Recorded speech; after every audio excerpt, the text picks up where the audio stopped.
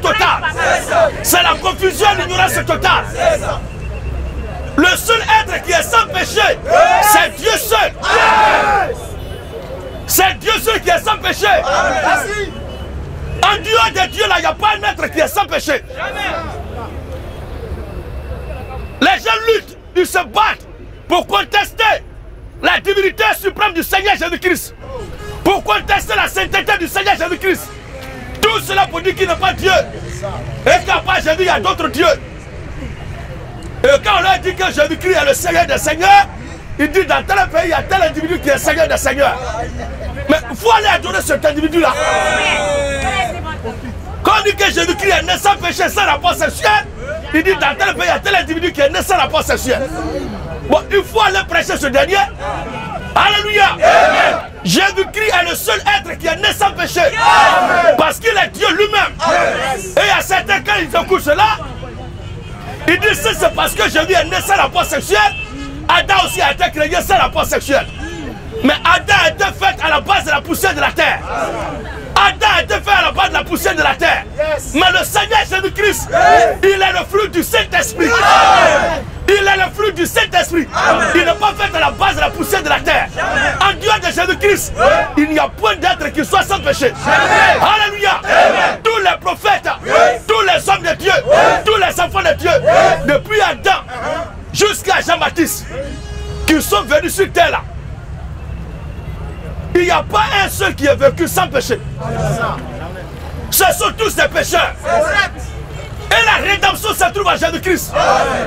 Celui qui ne croit pas à Jésus-Christ, tes péchés demeurent. Alléluia. Merci le Père.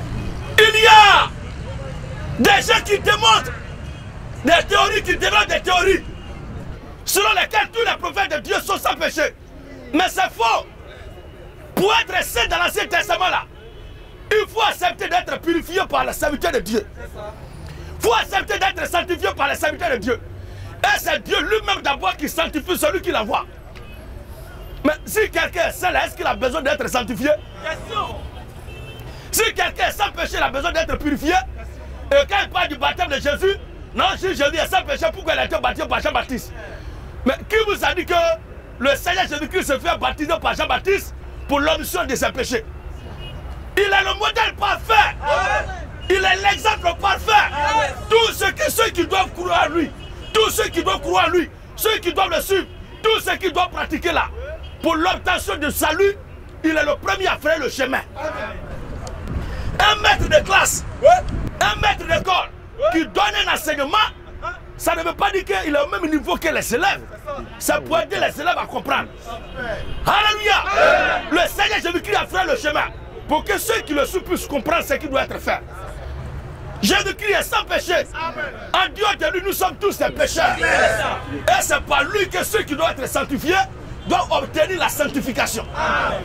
Nous lisons trois passages avant que le frère ne fasse la parole. Vous permettez, frère Ok. Nous commençons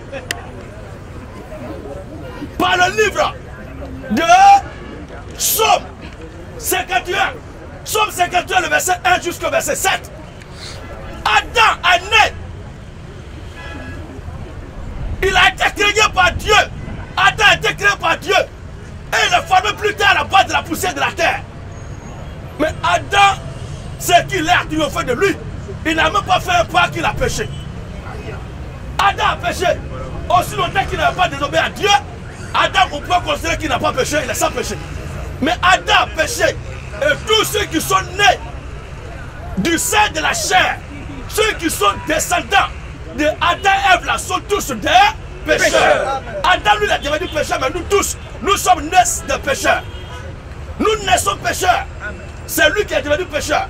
C'est quoi Jésus-Christ vient pour nous racheter. C'est la connerie que les gens racontent. Nous lui sommes frères. Somme 51. Somme 51. Verset premier. Qui parle là? Lorsque Nathan le prophète Lorsque Nathan le prophète fait à lui, vient à lui, après que David après que David fut allé vers Bathsheba, fut allé faire Bathsheba, oh Dieu, donc c'est David qui parle. Amen. Daouda, Daouda, l'homme selon le cœur de Dieu. Amen. David est un homme de Dieu. Et la Bible dit que David était prophète. Amen. C'est écrit noir sur blanc. Amen. Pendant qu'on fait la lecture, cherchez le, pa- préparez le passage où il a dit que David est un prophète de Dieu. Lisons, frère. Je crois bien c'est dans Actes chapitre 7. Préparez-nous maintenant. Oui, frère. Oh Dieu, Oh Dieu, aie pitié de moi, aie pitié de moi. dans ta bonté. Vous ne verrez jamais passage de la Bible où le Seigneur Jésus-Christ est en train de prier pour demander pardon à Dieu. Jésus-Christ ne peut pas plaider pour demander pardon. Il est sans péché. Parce qu'il est Dieu lui-même incarné. Il est Dieu voilé dans un cordon. L'écriture dit quoi? Oh Dieu, Oh Dieu, aie pitié de moi dans ta bonté. aie pitié de moi dans ta bonté. Selon ta grande miséricorde, Selon ta grande miséricorde. efface ma transgression. Efface quoi? Efface ma transgression. C'est David qui parle. Non, tous les hommes de Dieu sont sans péché. Tous les prophètes que Dieu a envoyés sont sans péché. Bande de plaisantins notoires. En tout cas, il y a deux, deux. Il y a l'homme animal et il y a l'homme euh, euh, spirituel. Il y a le serpent et sa postérité. Et il y a Adam et sa postérité. Il y a le vrai Jésus et il y a faux Jésus. Tout est dans la Bible. Il y a le vrai Dieu et il y a le faux Dieu. Peut-être que c'est les faux hommes de Dieu avec leur faux Dieu là qui peuvent enseigner de pareilles bêtises. Que tous ceux que tu as envoyés sont sans péché. Si vous prenez que s'ils sont sans péché, s'ils ne sont pas sans péché, pourquoi ils peuvent être utilisés par Dieu? Est-ce que les juges qui siègent aux tribunaux, au, au palais de la justice pour juger les gens, les procureurs là, est-ce que c'est parce qu'ils sont sans péché qu'ils siègent pour juger les gens? Alléluia. Est-ce que les commissariats, les brigades qui existent là, les commandants, les commissaires qui y sont, est-ce que c'est parce qu'ils sont exempts de, de tout péché, de tout reproche de la société, qu'ils remplissent ces fonctions Mais, ça dit, c'est un pouvoir qui leur a été conféré par l'État. Et quand on regarde ce pouvoir-là, ils sont au-dessus de la masse. Pas parce qu'ils ne sont pas des humains, pas parce qu'ils n'ont pas de faiblesse, mais quand on les voit là, on ne les voit pas en tant qu'individus simples, mais on les voit en tant que des symboles de l'État. Et ils sont immunisés. Et eux-mêmes là, travaillent à ne pas euh, plomber leur propre image. Ils préservent leur image. Ils préservent leur intégrité. Pour ne pas avoir de problème. Ça veut dire qu'ils reconnaissent qu'ils sont pécheurs. Alléluia. Ce n'est pas ceux à qui ils ont dit. Ceux à qui ils ont dit de la Bible, où Dieu a parlé de la Bible. Ceux à qui Dieu a demandé de la Bible de lapider les pécheurs là. Est-ce qu'ils sont sans péché Est-ce qu'ils sont sans péché Ceux qui disent qu'ils ont surpris la femme en flagrant délit d'adultère et qui sont venus la convoquer devant le Seigneur Jésus-Christ. Jésus a dit quoi Que celui qui n'a jamais péché laisse le premier la pierre. Quel bâtard a soulevé sa main Ils ont tous pas. Ils ont tous béous. Alléluia. Ils ont tous gagné temps. Parce que nous sommes tous des pécheurs. Et nous les chrétiens, nous sommes devenus saints, sans péché, Parce que Jésus-Christ est celui à qui nous avons cru. Et en croyant lui, nous sommes sanctifiés. Alléluia. L'écriture dit quoi? Oh Dieu, aie pitié de moi de ta bonté. Oh Dieu, aie pitié de moi dans ta bonté. Selon ta grande miséricorde. Selon ta grande miséricorde. Efface ma transgression. Efface mes transgressions. Lève-moi complètement de mon iniquité. Lève-moi complètement de moi. Iniquité. Voici David qui parle. Et purifie-moi de mon péché. Purifie-moi de moi. Péché. Purifie-moi de moi. Péché. Continue, Père. Car Oui. Je reconnais ma transgression. Ma- Maintenant, vous êtes qui pour dire que tout ce que tu as, voilà, sont sans péché? Voici David lui-même. Vous connaissez quel Dieu même? Abba les mécréants qui me croient. Oui, frère. Car je reconnais ma transgression. Quand je reconnais mes transgressions, Et mon péché est constamment devant toi. tout cela pour se mettre au-dessus des autres pour dire qu'ils sont forts, ils sont quelque chose. Non, tout ce que Dieu envoie sont sans péché. Faux, mensonge. Le seul qui est sans péché, c'est Dieu seul. Et c'est ce Dieu-là qui s'est manifesté en chair. En la personne de Jésus. C'est pourquoi Jésus-Christ est sans péché. Vas-y, papa. Car je reconnais ma transgression. Quand je reconnais mes Et mon péché est constamment devant toi. et mon péché est Constamment devant toi. constamment Devant toi. ensuite. J'ai péché. J'ai, Péché. j'ai, Péché. j'ai péché. péché Contre toi seul. contre toi seul. Et j'ai fait ce qui est mal à tes yeux. Voici, voici un homme de Dieu sincère. En sorte que tu es juste Un serviteur de Dieu sincère. En sorte que tu es juste dans ta sentence. dans ta sentence. Sans reproche. Sans reproche. Dans ton jugement. Dans ton jugement. Voici. Voici, Je suis né dans l'iniquité. Nous tous, nous naissons dans l'iniquité. Tous les humains naissent dans l'iniquité. Voici qui est clair. Et ensuite, Et ma et mère. ma mère, Ma mère m'a conçu dans le péché. ma mère m'a conçu dans le péché. Qu'est-ce qui est péché? Qu'est-ce qui est péché? L'homme de qui il est sorti les entrailles là? L'homme dont les entrailles ont fourni David là, c'est un pécheur. Et la matrice qu'il a reçue aussi, c'est la matrice d'une pécheresse. Donc lui-même, il est le produit de péché. Donc c'est un pécheur. Voici qui est clair. David est prophète de Dieu. Acte 2. Acte 2. Le 9 à 30. Acte chapitre 2, le verset 29. David est prophète. Nous allons maintenant lire par la grâce de Dieu le passage lui-même qui atteste que David est prophète de Dieu. Il n'était pas n'importe qui. Acte chapitre 2, le verset, à 30. vers le verset 29 à 30 ans. Homme frère. Homme frère, Qu'il me soit permis de vous dire librement. qu'il de vous dire librement Au sujet du patriarche David. au sujet du patriarche David Il est mort. qu'il est mort, Il a été enseveli. il a été enseveli Et que son sépulcre et que son tombeau existe encore aujourd'hui parmi nous. existe encore parmi nous. Comme il était prophète. Comme il était Prophète. Donc David était prophète. Voici un prophète qui vient de confesser ses iniquités. C'est bon frère. C'est bon. Ce qui est sûr, David était prophète, mais c'était un pécheur. Alléluia. Le livre de Daniel, chapitre 9, le verset 18 à 20. Prends 19 à 20 pour aller plus vite. Daniel. Et quelqu'un nous prépare Hébreu chapitre 5. Le verset 1 à 5 et Hébreu chapitre 4. Le verset 14 à 15. On va les foudroyer encore. Daniel 9. Abat les patracés spirituels. Abat les patracés spirituels. Abat les bâtards spirituels. Si votre foi ne pondait sur rien, déménagez et devenez chrétien. C'est aussi simple que ça. Nous, notre Dieu, là, il ne vend rien. C'est gratuit. Ok. Daniel 9. Daniel chapitre 9. Verset 19 à 20. Daniel 9, 19 à 20. Écoutons le prophète Daniel. Seigneur. Seigneur, Écoute. écoute. Seigneur. Seigneur, Pardonne. pardonne. Seigneur. Seigneur, Sois attentif. sois attentif. Agis. Agis Et ne tarde pas. Et ne tarde pas Par amour pour toi. par amour pour toi. Oh mon Dieu. Oh mon Dieu, Car ton nom. car ton nom, Ton nom est invoqué sur ta ville. ton nom est invoqué sur ta vie là Sur ton peuple. et sur ton peuple. Je parlais encore. Moi, Daniel, je parlais encore. Je priais. Je priais. Je confessais mon péché. Le prophète Daniel faisait quoi? Je confessais mon péché. Je confessais Mon péché. mon péché et encore. Le péché de mon peuple Israël. Donc le prophète est choisi par Dieu parmi le peuple est pécheur. Et le peuple parmi lequel il a été choisi aussi est pécheur. Les deux sont des pécheurs. Amen. Voici, voici qui est clair. Je ne sais pas où ils enlèvent la théorie plutôt là pour développer ça. Et quand ils développent ces, ces, ces là, il y a des gens qui disent Wow Puissant, puissant. Où est puissant là là? Faible, faible, ouais. À bas les prédicateurs hémorroïdaires. C'est une prédication remplie de coco. Alléluia. Maintenant, Hébreu. Hébreu 5 ans. Hébreu 5 et à 5. 1 à 5 ans. On va terminer rapidement et prendre des questions.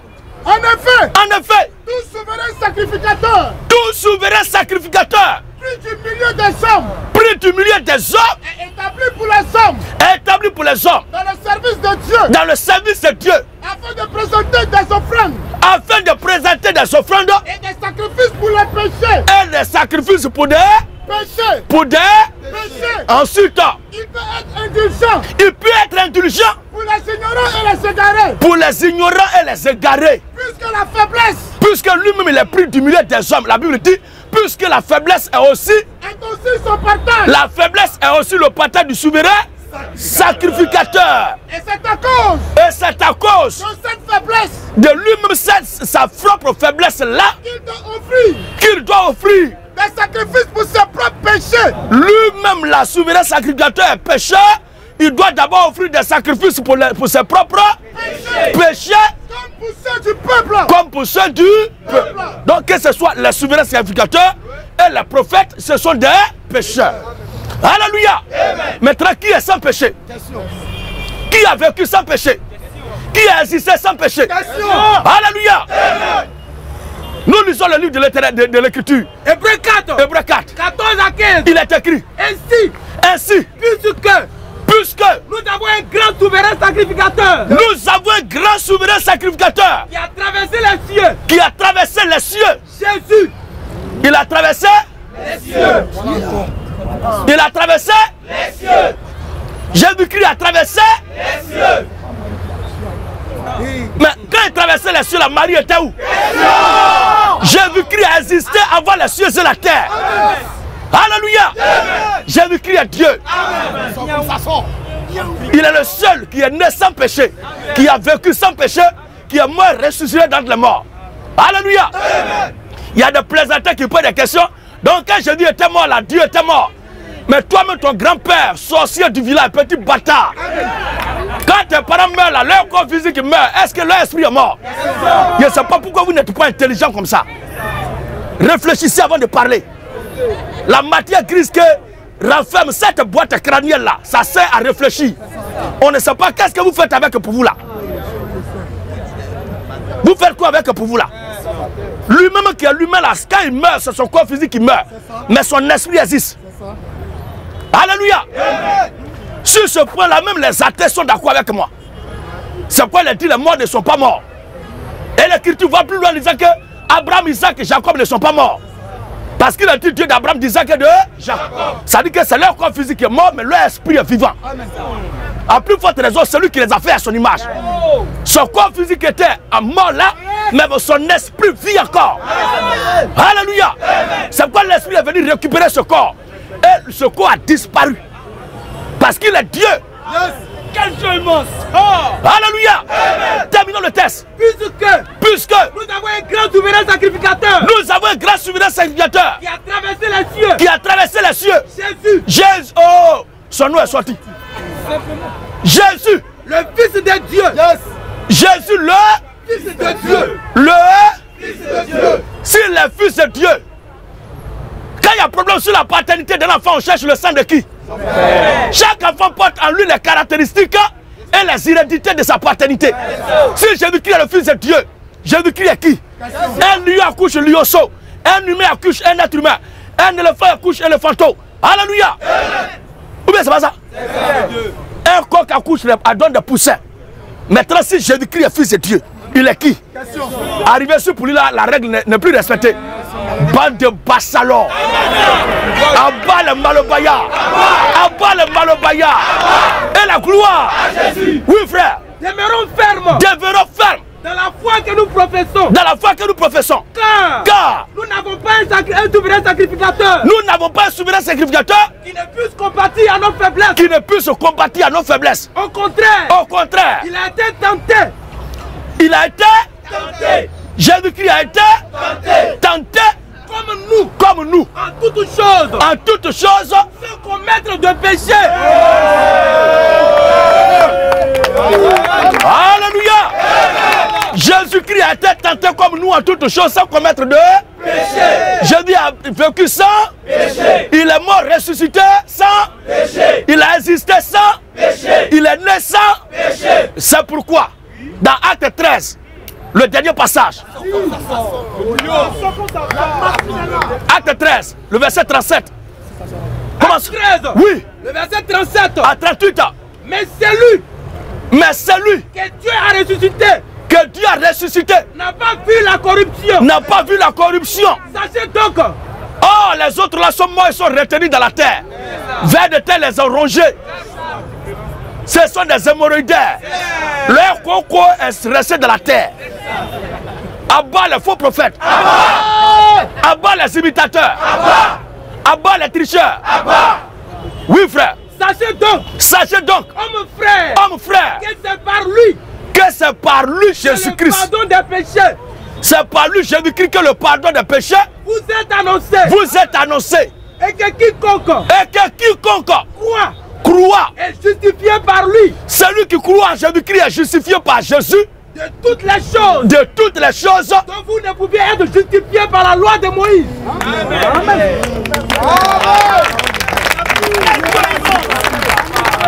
Alléluia. C'est en croyant en Jésus-Christ seul que nous sommes justifiés. C'est quoi lui-même l'a dit de sa propre bouche. Il a dit de sa propre bouche. Quand les gens l'acculaient ce jour-là, il s'est tourné vers eux. Qui de vous me convaincra de péché À part Jésus là, qui a- lisons le texte. Qui me convaincra de péché Lequel d'entre les humains Lequel d'entre les prophètes Lequel d'entre les envoyés de Dieu peut poser une telle question? Quand les gens l'acculaient, les gens l'accusaient de partout. Il s'est tourné vers l'auditoire, l'humanité tout entière. Et soulève cette question. Jean chapitre 8, Verset 45 à 46. le Seigneur s'est tourné vers l'auditoire. Il s'est tourné vers l'humanité tout entière. Et soulève cette question. Lisez la Bible de la Genèse jusqu'à Apocalypse. Aucun serviteur de Dieu n'a posé cette question-là.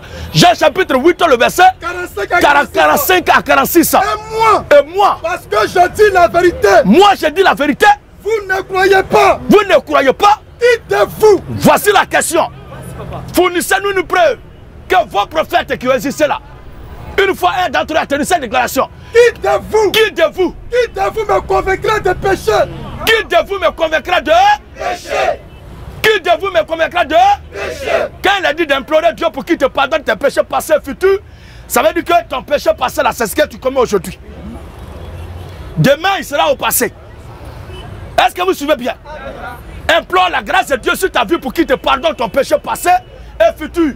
Il faut être des abrutis, des analphabètes anachroniques, des, des- des individus qui ont des réflexions archaïques, des réflexions de l'âge de la pierre taillée, de la- l'âge de la, de, de- de la cueillette, pour réfléchir, faire croire que quand la Bible dit euh, Dieu va te pardonner ton péché passé et futur, ça veut dire que tu es sans péché. C'est quelle théorie ça? Et comment on appelle cette formule-là en matière euh, euh, de formule grammaticale? Comment on appelle ça? Comment ça s'appelle? C'est quelle phrase ça? Quel type de phrase? Alléluia! Aujourd'hui, ce que je commets comme péché, demain là, ça sera appelé péché passé.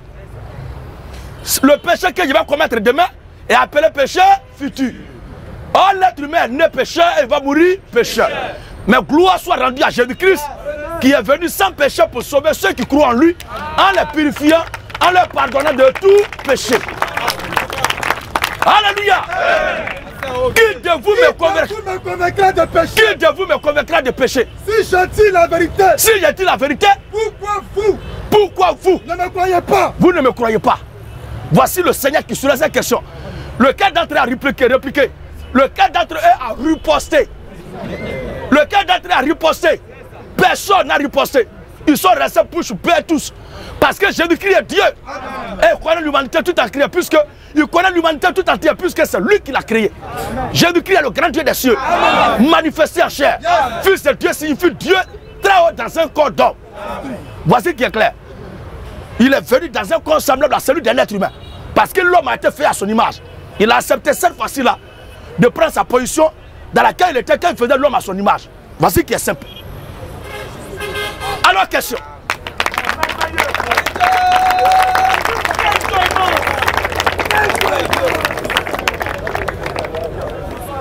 Oui, bonsoir frère. deux préoccupations. Et souvent, s'il vous plaît les gars, il dit la deux préoccupations. Tous les pasteurs camouflés dans la foule, vous êtes des besclas.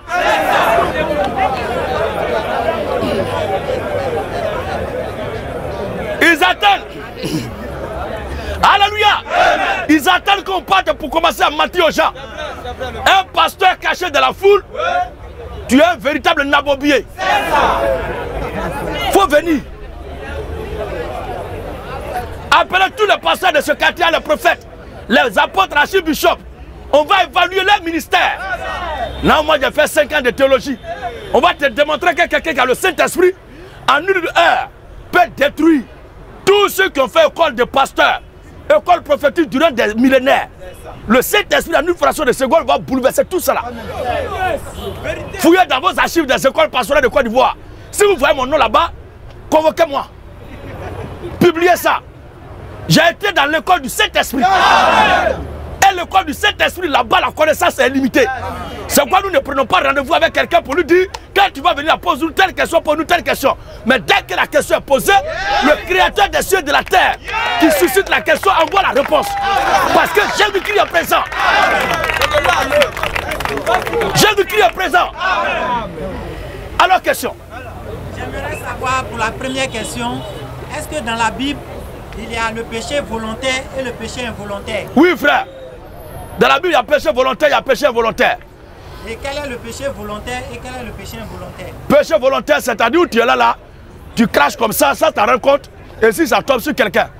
Mais, mais comme c'est un acte d'insensé, dans, le- dans- dans le fond, c'est pas involontaire, c'est parce que tu as manqué d'intelligence. En réalité, c'est celui qui n'est pas intelligent.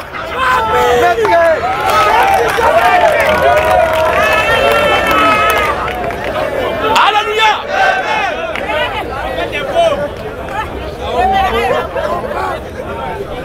Tu es dans une société, tu sais que là où tu es là, tu n'es pas seul. La sagesse et l'intelligence auraient souhaité qu'avant de cracher, tu regardes d'abord.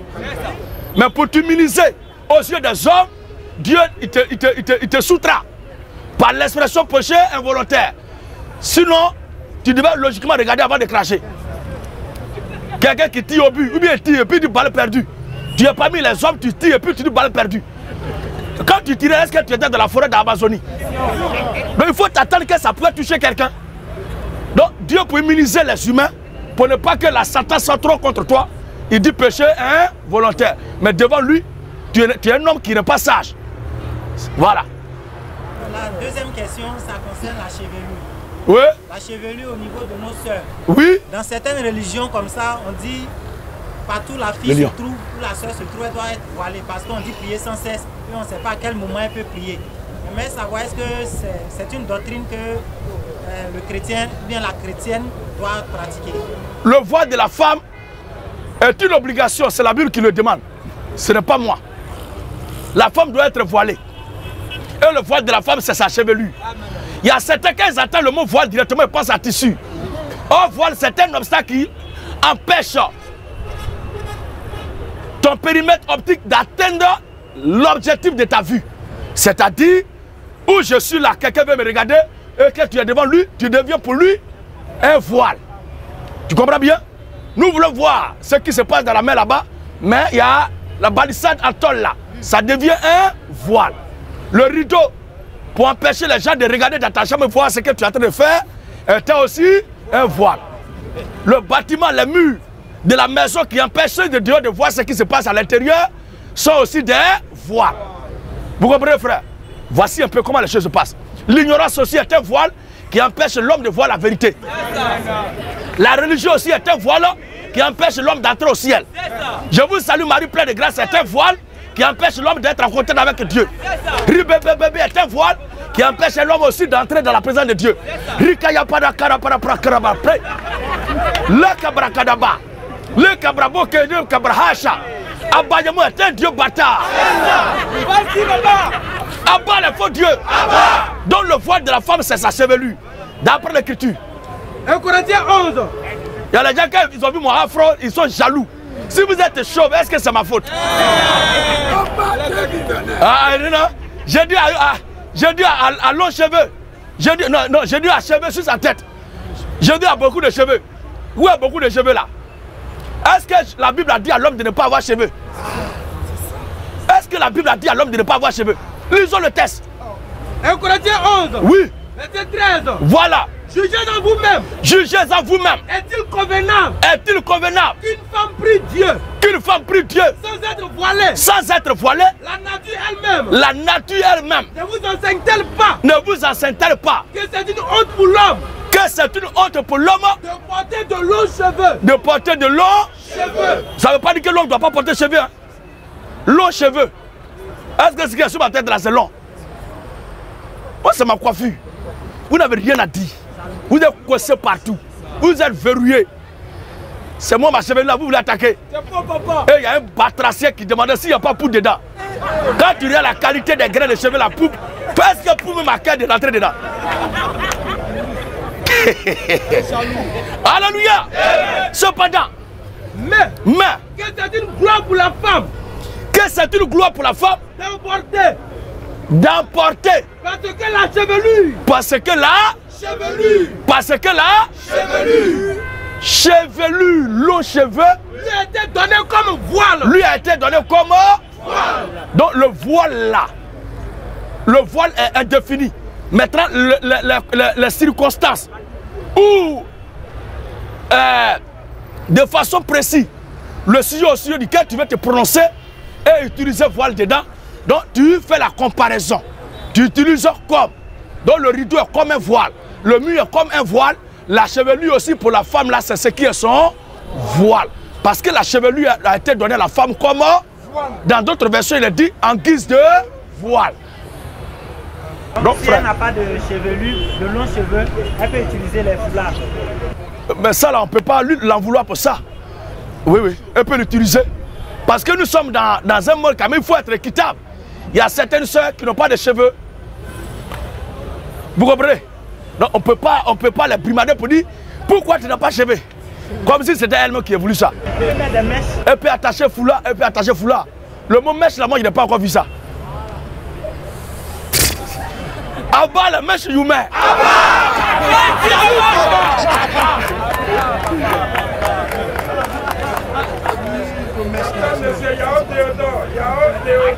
Mr. Théo. Une église dans laquelle on ne porte pas Jésus pour aller prier. Une église dans laquelle on ne mange pas la viande de porc. C'est une église qui est égarée. Le Saint-Esprit n'est pas là-bas. Dieu a dit de porter chaussures. Les enfants d'Israël portaient chaussures. Le Seigneur Jésus-Christ portait chaussures. La viande de porc là n'est pas un péché. Tout enfant de Dieu a le plein droit de manger viande de porc. Manger viande de porc. Il n'y a rien. Il y a des gens qui disent que porc là, Alléluia. Il y a des gens qui disent que porc là, il est dans, les endroits euh, euh, sales, sales. Toi-même là, il faut mourir tout à l'heure. On va voir dans deux jours ton corps là va devenir comment? Nous sommes tous poussière de la terre. On est poussière, on va retenir la poussière. Laissez Gabriel en paix. Mangeons-le. C'est une bénédiction que Dieu a apportée. Vive le bon vin! Vive le bon vin! Un pasteur qui condamne la boisson, c'est un faux pasteur. La boisson n'est pas un péché. Vive la polygamie! Vive la polygamie! Vive la polygamie! Vive la polygamie! Un pasteur qui condamne la polygamie, c'est un pasteur qui n'est pas de la vérité. La polygamie n'est pas un péché. Mais attention, la polygamie, c'est celui qui a les moyens à tous les niveaux. Un homme qui dort au salon, quelqu'un qui est hémorroïdaire, quelqu'un qui n'a rien, il ne peut pas être polygame. C'est pas vrai. D'autres pensent que c'est affaire d'argent seulement. Et l'autre côté, tu as fait comment? Si tu n'es pas en forme là-bas. Et après, pour dire qu'elle a commis adultère, m'a trompé, elle t'a pas trompé. C'était une prise en otage. En bas, les hémorroïdaires. Quelqu'un qui dort au salon de ses parents, toi on te saute chaque nuit. Le jour où quelqu'un a pris balle perdue dans la maison, avant de venir dormir, marche sur toi. Toi comme ça là, tu vas parler de deux femmes. Toi, tu as besoin de délivrance. Tu as besoin de délivrance. C'est- Satan qui t'habite. Mais la polygamie, c'est une pratique de responsable. Quand il dit vivre le bon vin, il faut que vous compreniez bien, c'est pas belé. Les gens qui mélangent canard avec euh, euh, voti, avec euh, euh, euh, belé, euh, euh, et, puis, quand on les regarde, euh, ça dit, ils pensent qu'il est à l'aise comme ça. Tu vas boire koutoukou, tu ne manges pas.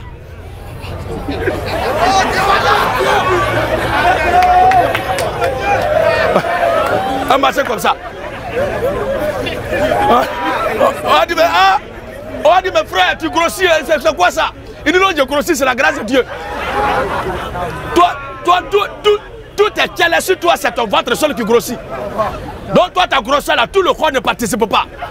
Quelques semaines après, les lèvres là, on dirait derrière d'un babouin de sécheresse.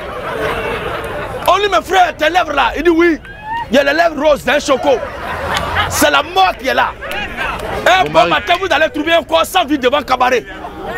Abat le buveur de Belé.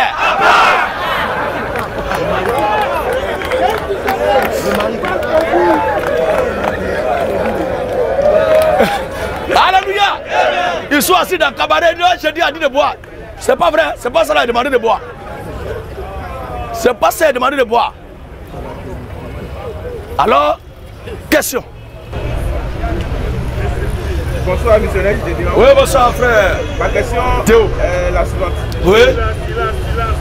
Je vais venir sur euh, l'expression au nom du Père et du Fils et du Saint-Esprit.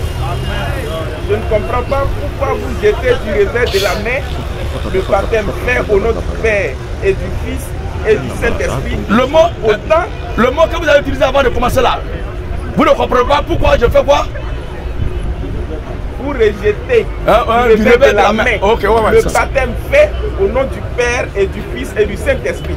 Autant il est écrit noir sur blanc dans la Bible. Oui. C'est une recommandation de Jésus lui-même. Allez et baptisez-les au nom du Père et du Fils et du Saint-Esprit. Right. J'ai discuté avec l'un de vos euh, disciples, bon, l'un de vos fidèles. Il m'a dit c'est parce que dans la Bible, aucun apôtre n'a baptisé au nom du Père et du Fils et du Saint-Esprit. J'ai dit non, c'est pas possible. Il faut qu'il ait un amendement à ce que Jésus a dit qu'on puisse dire non, comme il y a un amendement, donc on ne fait plus ça. Merci frère. Mais c'est pas le cas, je ne comprends pas. Donc, Merci comprends. frère. Regarde très bien. Arrivé à la maison aujourd'hui, il faut faire attention en faisant la lecture. On va lire ensemble devant tous ceci le passage lui-même. Matthieu 28, le verset 19 à 20. Matthieu 28, le verset 19 à 20. Il est écrit. Puis Jésus l'a dit Puis Jésus l'a dit Allez, Allez, faites de toutes les nations des disciples, faites de toute la nation des disciples les baptisants les baptisants. au nom du Père. Ok. Frère, on va lire ensemble. Matthieu Le texte lui-même. Matthieu, le, Matthieu 28, le verset 19 à 20. Puis Jésus l'a dit Puis Jésus l'a dit Allez, Allez, faites de toutes les nations des disciples, faites de toute la nation des disciples les baptisants les baptisants au nom du Père, au nom du Père, du Fils, du Fils et du Saint-Esprit. et du frère, il dit Amen à ce passage. Mais la compréhension que l'on a là, c'est ça qui pose problème. Parce que O n'est pas au pluriel, il n'y a pas X à la fin. Suis bien. Ce que tu as déjà là, c'est un acquis pour toi comme connaissance. Si tu es venu me poser la question, c'est que tu veux me comprendre et tu veux bien, bien pré- appréhender le, le- le motif qui me pousse à dire que ce baptême-là, celui qui le reçoit n'est pas encore sauvé. Donc, il faut prêter attention à ce qu'il va dire. Pour toi, ce que tu sais déjà là, c'est un acquis, on ne peut rien faire contre ça. Mais écoute ce petit plus qui nous avait tous manqué hier. On était tous dans la religion et c'est ce qu'on avait cru. Mais maintenant, le temps de Dieu est arrivé pour nous sauver de la religion. Alléluia. Le O n'est pas au pluriel, il n'y a pas is à la fin. C'est un O au singulier. Vous comprenez? Quand c'est comme ça en français, le nom là doit pas être accordé aussi. Pour dire qu'il doit avoir S à la fin du nom. Donc, si le O et le nom, ça dit O et nom sont au singulier, c'est que tout ce qui vient là ne sont pas des personnes, mais ce sont des attributs ou des filiations ou encore des postes, des fonctions qu'un seul individu occupe. Alléluia! Alors, regardez très bien. Le O n'est pas au pluriel. Non aussi, il n'y a pas S à la fin. Ça veut dire quoi? Ça veut dire tout simplement que Père, Fils, Saint-Esprit sont des fonctions, sont des attributs que porte un individu. Donc l'Écriture nous demande de baptiser dans son nom. Vous comprenez frère? L'Écriture nous demande de baptiser dans son nom. Mais est-ce que Père là, c'est nom propre de quelqu'un? On te dit d'aller prendre, d'aller faire retirer la banque au nom de ton Père. Et toi aussi, tu remplis le fichier. Tu remplis le fichier, le papier pour faire retirer la banque. Tu ris déjà, non? Tu mets non. Ça dit, la phrase que le vieux a dit là, va faire retirer la banque à mon nom. On te donne le papier, le fichier pour remplir, tu écris dessus, va faire retirer la banque à mon nom. Est-ce que ça va passer? Tu vois un peu? Ton, grand frère t'envoie à la boutique, il faut aller acheter mayonnaise pour moi. Arrivé devant le boutiquier, tu dis, va à la boutique pour acheter mayonnaise pour moi. Tu, ça tu répètes la phrase sexuellement. Est-ce qu'ils ne vont pas dire que le jeune là, très bien habillé, le propre au quartier ici, mais ça commence comme ça. Alléluia. Tu vois un peu Nous tous, on est à l'école. Même jusqu'à présent, quand tu vas te connecter sur Internet, sur les réseaux sociaux, il y a des formulaires remplis sur l'interface. On dit nom et prénom, date de naissance. Ce sont des questions qu'on te pose. Là, on met nom, toi tu écris aussi nom. On met prénom, toi aussi tu, tu- tu écris prénom. Est-ce qu'on va laisser, on va valider ton truc? Il va mettre erreur rouge. Quand on met nom, moi, tout mon nom à l'état civil, c'est Gay Monsekela Ferdinand. Gédion de la Tchétchouva. Donc vous voyez? Donc on demande nom. Je mets Gay. Prénom Monsekela Ferdinand, Gédion de la Tchétchouva. Là c'est juste. Mais on met nom, toi aussi tu mets nom. Prénom, tu mets prénom. C'est comme un homme qui va à l'école, une opération on dit 2 plus 2 égale. Ils sont deux élèves en classe. L'autre, pour ne pas contredire le maître, il répète tellement ce que le maître a donné comme opération. Parce qu'il ne veut pas s'opposer à ce que le maître a dit. Le maître met 1 plus 2 plus 2 égale. Le maître met l'opération 2 plus 2 égale. Lui aussi, il regarde 2 plus 2 égale. Et puis il encadre ça. Il ne veut pas contredire son maître. Il répète ce que le maître a, dit. Le deuxième élève vient, 2 plus 2 égale, lui met 4 et puis il encadre. Entre les deux là, littéralement, qui a répété ce que le maître a fait? C'est le premier. Maintenant, raisonnement, selon l'étude maintenant, qui va être admis? Tu vois maintenant? Donc quand une opération est donnée, une équation est donnée, il faut chercher la résolution. Nous ne, nous ne répétons pas ce que le Seigneur a dit, mais nous résolvons. Le verbe résoudre, respecter ceux qui l'ont maîtrisé.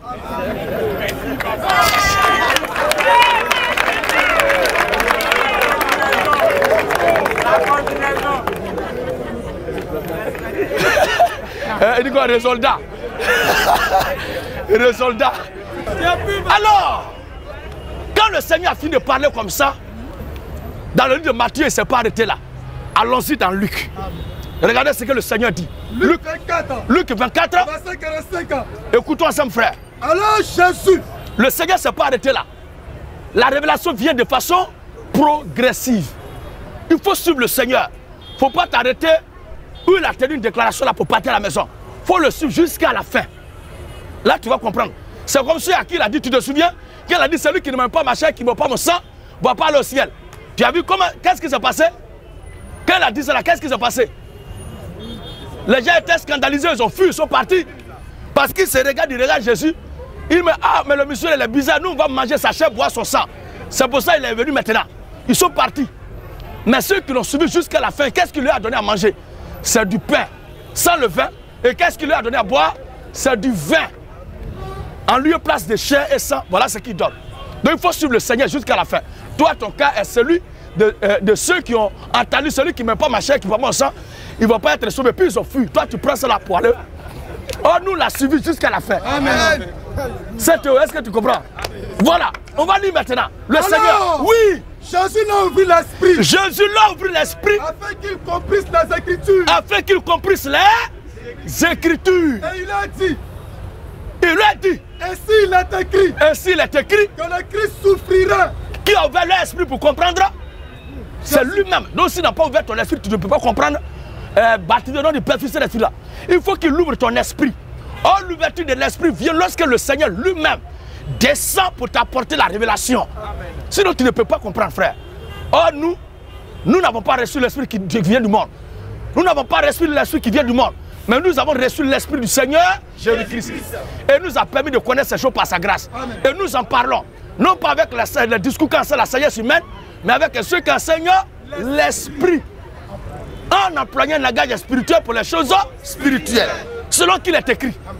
Et Jésus l'a dit. Et Jésus l'a dit. S'il est écrit Ainsi il est que écrit le Christ souffrira que le Christ souffrira. et qu'il ressuscitera des morts le troisième jour. Ensuite, Et que la repentance regarde maintenant, frère.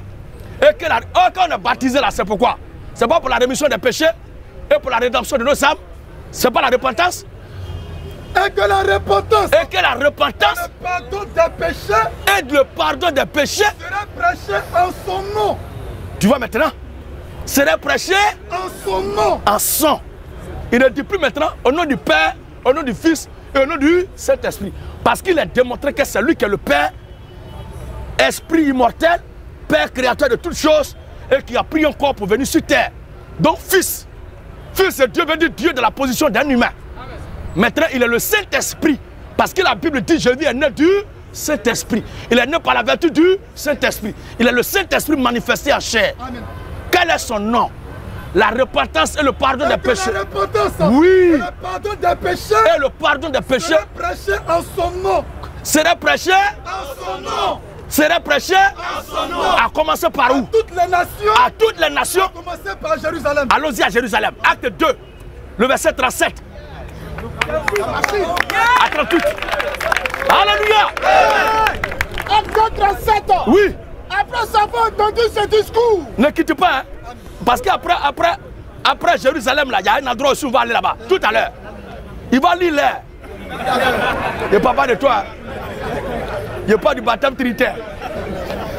Oui, frère. après avoir entendu ce discours, Après avoir entendu ce discours, oui, ici le cœur vivement touché, il suit le cœur vivement touché. et il dit à Pierre, Il dit à Pierre. Aux autres apôtres, et aux autres apôtres, un frère, quand le Seigneur est mort, ressuscité, et il a donné l'ordre aux disciples, ils sont allés maintenant prêcher. Quand le Saint-Esprit est descendu, les premiers baptisés à l'église primitive, le jour de la Pentecôte, ceux qui ont écouté l'ont posé la question au serviteur de Dieu.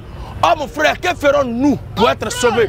Qu'est-ce qu'on doit faire pour être sauvés? Que ferons-nous? Que ferons-nous? Pierre leur dit, répondez-vous, repentez-vous et que chacun de vous et que chacun de vous soit baptisé. soit baptisé, au nom de Jésus-Christ. soit baptisé. Au nom de Jésus-Christ. Pourquoi? Pour le pardon de vos péchés. Pour le pardon, la rémission, le pardon des péchés serait prêché. Simon Pierre, qui était le doyen des apôtres, entre griffes, s'il faut le dire ici, puisqu'il était vraiment le doyen des apôtres, c'est lui qui prit la parole ce jour-là, à la Pentecôte. Et il a été clair, repentez-vous et que chacun de vous soit baptisé au nom du Seigneur Jésus-Christ Pour le pardon de vos péchés. pour le pardon de vos péchés Et vous recevrez et vous recevrez. le don du Saint-Esprit. Voici qui est clair. Tu suis un peu frère. Maintenant, à Jérusalem, Acte chapitre 1 le verset 8. oh là là, dans Luc 24 d'abord, Vous êtes mes témoins. Et que la repentance et que la et repentance, le pardon des péchés oui, sera prêché en son nom voilà, à toutes les nations. à toutes les nations, À commencer par Jérusalem. à commencer par, Jérusalem. à commencer par, Jérusalem. on a fini à Jérusalem, non? Toutes les nations. Allons-y, croiser le cas de ceux qui l'ont croisé, l'apôtre Paul a croisé euh, dans, dans- dans une contrée éloignée de Jérusalem, acte 19. Acte 19, Oui, le verset 1. le verset 1. Pendant qu'Apollos Pendant qu'Apollos était à Corinthe, était à Corinthe, Paul, Paul, après avoir parcouru l'apôtre Paul qui est venu plus tard, après que Jésus soit mort, Jésus soit mis à mort plus tôt, et ressuscité d'entre les morts, donné des instructions aux apôtres, puis ils sont partis. L'apôtre Paul qui était persécuté numéro un des chrétiens, à cette époque-là appelé Saul de Tasse, Jésus l'a terrassé et le Seigneur l'a gagné maintenant. Et Paul commence à prêcher l'évangile. Extraordinairement, extraordinairement, Paul va baptiser comment Au nom du Père, Fils et d'Esprit ou au nom de Jésus-Christ On va voir. Paul, Paul, après avoir parcouru après avoir parcouru, la haute province de l'Asie, oui, arriva à Éphèse, arriva à Éphèse, ayant rencontré quelques disciples, ayant rencontré quelques disciples, il leur dit il leur a dit Avez-vous reçu le Saint-Esprit? Est-ce que vous avez reçu le Saint-Esprit? Quand vous avez cru. Quand vous avez cru, Il lui répondit il répondit à l'apôtre Paul. Nous n'avons pas même entendu. Nous n'avons même pas entendu. dire qu'il y a un Saint-Esprit. Oui, Nous n'avons pas même entendu dire nous n'avons même pas entendu dire qu'il y a un Saint-Esprit. qu'il y a un Saint-Esprit. Il dit Il dit quoi? De quel baptême? De quel baptême? Avez-vous donc été baptisé? C'est quel baptême vous avez reçu pour que jusque-là vous n'avez pas reçu le Saint-Esprit? Et il répondit Il répondit, Du baptême de Jean. comme aussi au nom du Père Fils, Saint-Esprit.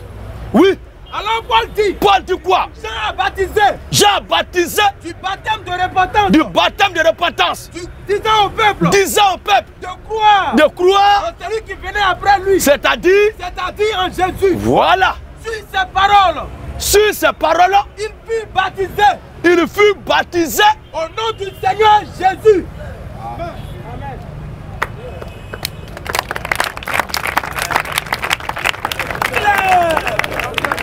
Alléluia. Ce n'est pas parce qu'un apôtre n'a pas baptisé au nom du Seigneur, au nom du Père, Fils et l'Esprit, que nous disons que le baptême trinitaire n'est pas juste.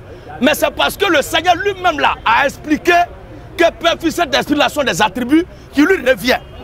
Et que le baptême et la repentance des péchés doivent être prêchés lui à son nom de Jésus-Christ. Et tous les apôtres ont suivi les consignes. Donc il y a l'équation et la résolution de l'équation, l'opération et le résultat.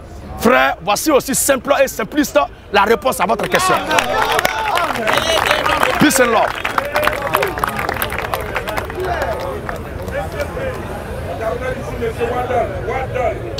Mr. Wilder. Mr. Il y a les gens qui attendent la nuit pour faire bruit. Les lâches là. Pendant qu'il fait jour, venez, on va voir dans votre visage de Gueleman là. Ils attendent finir. Leur grève de faim, vont aller manger euh, euh, rempli de momi à l'air pour venir bavarder. Quand mon heure va arriver là, je vais partir. Hein. Ne dis pas que je fuis. Pendant qu'il fait jour là, et qu'on on se voit zier dans zier là, venez. Moi, je n'ai pas parlé avec une lunette noire. Frère Wador, vous avez la parole. Ok, moi je me nomme Andy Roger. Ma préoccupation est que, bon, au fait, c'est pas une préoccupation en tant que telle. David, tu peux amplifier sa voix parce que ça ne porte pas. On ne peut pas lui demander de faire mieux que ça. ok, Il dit que ce n'est pas une c'est pas une préoccupation en tant que telle. mais, ça dit, mon constat est que, c'est vrai, Ok, on l'attend tu es maintenant. un homme, moi je ne te considère pas comme euh, un faux euh, homme de Dieu. Voilà, mais seulement, il y a quelques enseignements que vraiment, qui ne me sied pas selon la Bible. Voilà, je vois que ça ne sonne pas. Voilà, c'est c'est au sujet de la polygamie. Voilà, et puis le sexe, c'est-à-dire le mariage est l'acte sexuel. Voilà, c'est. Bon, je veux me limiter sur ça. Merci frère. Je voudrais être franc avec vous que ces histoires de sexe sont des choses sur la terre. Dès qu'on meurt tout à l'heure, affaire de deux femmes ou trois femmes ou une femme ou cent femmes, ça prend fin. Vous comprenez?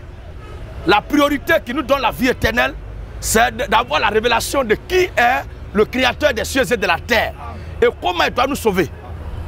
Maintenant, il y a certains enseignements que les gens ont mis sous pied qui sont devenus aujourd'hui des obstacles, qui sont devenus des embûches, des blocus à la réflexion, à la croyance des gens, les empêchant de venir, de se donner à Dieu. Parce que ces enseignements-là sont devenus des blocages. Alors que ce n'est pas la Bible qui a dit cela. Vous suivez bien? La polygamie. Certains pasteurs disent que si quelqu'un a deux femmes qui vient à l'église, il doit laisser une pour prendre l'autre. C'est pas juste. L'autre là, qui va la prendre? Est-ce que la Bible elle-même est contre le fait d'avoir deux femmes? Non. Lisez vous-même dans l'Ancien Testament. Tous ces grands hommes de Dieu, la majorité, la grande majorité, étaient des polygames, avaient beaucoup de femmes. Mais Dieu jamais n'a dit que c'était un péché. Dans le Nouveau Testament, il n'y a pas un texte aussi qui a abrogé cela. Pour dire qu'il a été dit d'avoir plusieurs femmes, mais maintenant, je vous dis de ne pas avoir plusieurs femmes. Ça n'existe pas. Or, si longtemps qu'il n'y a pas une nouvelle loi pour amender l'ancienne loi, l'ancienne loi est toujours valable. Vous comprenez? Il a dit dans l'Ancien Testament, tu ne commettras pas d'adultère. Mais moi, je vous dis, si quelqu'un regarde une femme pour la convertir dans son cœur, il a déjà commis l'adultère. Voici l'amendement. Il a dit un pour un, dent pour dent. Mais moi, je vous dis que si quelqu'un t'a giflé sur la joue droite, dans la joue gauche, voici l'amendement. Vous suivez bien près. Sinon, l'Ancien Testament a dit tu honoreras ton père et ta mère, afin que tes jours prolongent, se prolongent. Le Seigneur Jésus-Christ aussi a répété la même chose. Vous suivez, frère. Donc, il y a certaines choses sur lesquelles, vous et moi, nous ne pouvons pas faire débat. Parce que de façon culturelle, d'abord, ceux de qui viennent, ceux par qui Dieu est passé pour nous donner la Bible là, c'est-à-dire les Juifs, qui sont le peuple par qui Dieu a traité avant de venir vers nous ici, sont des gens qui ne sont pas d'accord avec ce que nous combattons. Parce que Dieu leur a donné une loi dans laquelle la polygamie jamais n'a été condamnée. Exode. Exode 21, 10. Exode 21, 10. Si un homme Si un homme, et prend une autre femme, si un homme prend notre femme, il ne retranchera rien pour la première. il ne retranchera rien pour la première, À la nourriture, à la nourriture, aux vêtements aux vêtements. et au droit conjugal. Si c'est un péché, Dieu ne peut pas réglementer ça. Ça veut dire que ce n'est pas une obligation de prendre une autre femme. Vous comprenez, frère? Ce n'est pas une obligation. Il est bien dit si. C'est-à-dire si tu as les moyens, si tu te sens capable de le faire, tu le fais. Mais ce n'est pas une obligation. Nous ne disons pas que c'est une obligation pour l'homme d'avoir plusieurs femmes. Nous disons que si quelqu'un a plusieurs femmes, il ne pêche pas.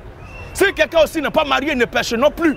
Si quelqu'un a une seule femme, il ne pêche pas. Seulement, le culture a dit, c'est l'évêque qui doit être marié d'une seule femme. Si tout chrétien au préalable doit être marié d'une seule femme, pourquoi l'évêque qui est plus parmi les chrétiens, on lui demande de remplir cette condition-là Ça veut dire que tous les chrétiens ne sont pas mariés, tous les chrétiens ne sont pas mariés d'une seule femme, tous les chrétiens aussi ne sont pas polygames. Voici ce que je voulais vous dire sur la première question. Bon, concernant Exode 21, je sais pas, verset 10. combien? Ouais, verset 10. C'est vrai, cette loi a existé. Mais dans le livre d'Hébreu 12, quand il revient encore dans même Hébreu, euh, Hébreu 7, Hébreu 7, Verset 12, verset 12, Lisons. Mais dégagez d'abord la pensée. Dégagez d'abord la pensée. Voilà, voilà. Euh, Hébreu 7, Hébreu 7, verset 12. Il a dit que le sacerdoce étant changé, nécessairement, Il a eu- changé. voilà, il y a Il a changement de loi. de loi. Et quand on revient encore dans le même Hébreu 7, le verset 18, nous allons parler du verset euh, euh, ouais, euh, euh, non, 18 jusqu'en 19. On nous dit que la loi a été abolie et que cette loi dont vous avez dit là, cette loi-là ne pouvait même pas nous amener À la perfection. à la perfection, même s'approcher de Dieu. Bon, que la loi n'a rien apporté de, à la perfection, comme vous l'avez dit tout et tout. Donc, cette loi-là, c'est vrai, ça existait, mais au temps de Jésus-Christ, voilà pourquoi, à chaque moment, il a dit, il a été dit, mais moi je vous dis. Il a été dit, mais moi je vous dis. Ouais, donc cette loi-là, Merci frère. c'est pas applicable. Ça dit, le pronom se situe maintenant sur le changement de sacerdoce. Donc s'il y a changement de sacerdoce, il y a nécessairement changement de loi. Maintenant, le sacerdoce dans lequel nous sommes là, dans le texte hébreu là, il est semblable à quel sacerdoce? Merci Cédric. À celui de Merci Cédric. Melchisedec. Qui était serviteur de Dieu à cette époque-là Au temps de Abraham. Abraham. Abraham. Abraham était-il polygame ou monogame? Abraham. Il était polygame. Était Polygame, oui. Oh, le sacerdoce sur lequel nous sommes est semblable à celui du, de Melchisedec. Il est sacrificateur à perpétuité. Oh, Abraham était sous et dans le sacerdoce de Melchisedec. L'Écriture dit, nous là, nous sommes les héritiers de la foi d'Abraham. Frère, vous suivez bien? Nous sommes les héritiers de la foi d'Abraham. La polygamie a été avant la loi, dans la loi et après la loi. Voici ce qu'il faut retenir. Melchisedec là, dont la sacrificature est comparée à, à, celle de Christ, est le Christ lui-même en préfiguration pour préparer l'esprit du peuple dans l'Ancien Testament. Si dans l'ombre de la sacrificature de Melchisedec, de Christ, il y a polygamie, dans la réalité, est-ce que ça va manquer? Le problème aujourd'hui là, nous ne trouverons pas un passage où il est dit que celui qui a pris deux femmes a commis un péché. Il n'y a, pas eu de loi. Il n'y a pas eu de loi. Il n'y a pas eu de loi qui a dit de prendre deux ou trois femmes et Abraham avait plus d'une femme. Alors si vous avez le passage qui condamne la polygamie, donnez-le à le livre. Voilà. D'abord, il y a parlé de Melchisedec. Vous dites Abraham qui était le sacrificateur au temps de Melchisedec. Abraham n'était pas sacrificateur. Euh, euh, C'est Melchisedec qui était sacrificateur. Ah, vous qui était, Abraham était prophète. Prophète, qui était le prophète euh, au temps de Melchisedec. C'était Abraham. Mais quand on dit euh, le sacerdoce selon Melchisedec, c'est pas selon par rapport à. Parce que Abraham était polygame ou pas? Non, On moi dit- je n'ai pas dit ça. Ouais, ouais, ouais, Moi je n'ai pas dit ça. Vous avez dit tout à l'heure, si le sacerdoce a changé, Voilà. les lois aussi On ont. changé. Or, dans le sacerdoce lévitique, il y a eu un prophète de Dieu par qui Dieu est passé pour donner la loi. N'est-ce pas? Il y avait une figure emblématique dans le domaine de la foi au temps de, du sacerdoce lévitique. C'était qui? Moïse. Vous comprenez, frère C'était Moïse. C'est pourquoi je vous rappelle aussi qu'au temps de Melchisedec, là, il y avait aussi un prophète de Dieu. Il était polygame. C'est-à-dire qu'on doit tenir compte des souverains sacrificateurs, des sacrificatures et des messagers qui sont, qui sont venus avec des lois, qui sont venus avec euh, des, des enseignements, des doctrines. On prend Moïse, on ne peut pas prendre Moïse et puis laisser Abraham. Oui, mais, mais ils étaient polygames. Ça, la loi existait. Non, À ce monsieur. moment, la loi, on dit que ça a changé. Donc la loi n'existe Non, monsieur. On dit qu'il y a La eu loi, abolition la loi a été donnée par qui? Vous dites La loi a été donnée par qui? Par Dieu Je suis. et par Moïse. Ouais, mais c'est Entre- Dieu qui a donné la loi à Moïse. C'est Dieu qui a donné la loi à Moïse? Mais entre Moïse et puis Abraham, qui a, qui a existé premièrement? C'est Abraham. Mais voilà. Oh, Abraham était polygame. Oui, non, il était polygame là. Cette loi, cette loi existait. On ne peut pas le connaître. Maintenant là, le sacerdoce a changé. Bon, dans le Il y a eu abolition de loi. Donc maintenant, si Dans- toi, dans- si toi tu es prophète dans le passage de- qui dit de que ce la polygamie- là, dans le passage qui dit que la polygamie est abolie. Le passage là, c'est dans Matthieu Combien? 19. Lisons Matthieu 19. Je viens- Ouais, Matthieu 19. Normalement, je vais, ça doit commencer par euh, verset 3, mais on va, vous qui m'intéresse même là, c'est le verset 9. Jésus-Christ a dit que, mais je vous dis, je vous dis, que celui qui répudie sa femme, sauf parce que, il vient, il vient, il vient. Parce que le Seigneur là, a euh, résolu l'équation du divorce là. En résolvant, oui. Ouais, en résolvant chose d'or. l'équation du divorce a tranché la question du mariage. Il a dit, celui qui répudie sa femme, sauf pour cause d'infidélité, et qui en épouse une autre, une autre, commet un adultère. Ça veut dire que quoi?